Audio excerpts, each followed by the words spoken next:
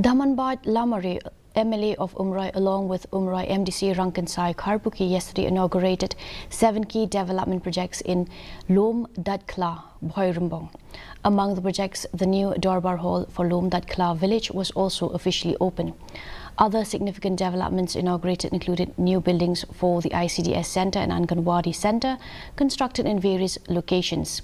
In his address, the MLA assured the community of his continued commitment to the development of Umroi constituency.